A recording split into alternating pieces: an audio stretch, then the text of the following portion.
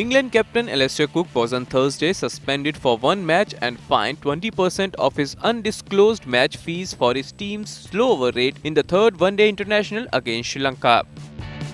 Match referee David Boon ruled that England bowled one over short in the stipulated time frame during Wednesday's rain-curtailed game in Hambantota, which the tourists won by 5 wickets. Cook will miss Sunday's fourth match in Colombo with Sri Lanka, leading 2-1 in the 7-match series. IANS report.